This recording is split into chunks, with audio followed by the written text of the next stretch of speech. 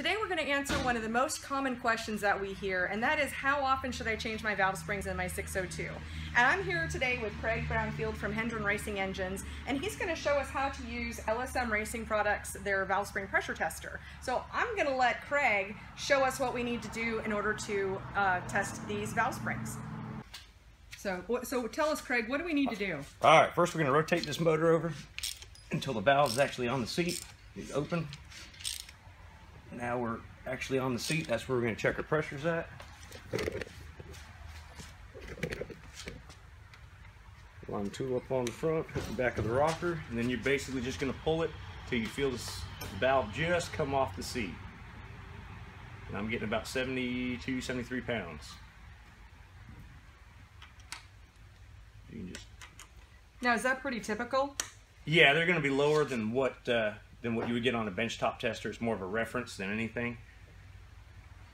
Yes, and I know with your help, we've developed a uh, a sheet, a log that you can use to test your test your valve springs or keep track of of them and when they when their pressures change. So there you have it. You're going to want to turn your engine in order to make sure that your, your valve is, is properly set before you uh, do your next one.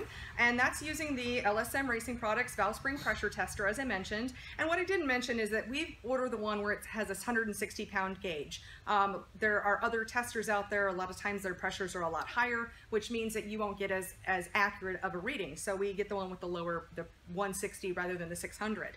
And then we'll also have a log that you can download on our website at crateinsider.com. Um, it'll probably be in the comments of this video if you're watching it on YouTube, or there'll be a link to the article on our website. And you'll be able to download the PDF so that you can then have your own log and keep track as you go of, of your valve spring pressures.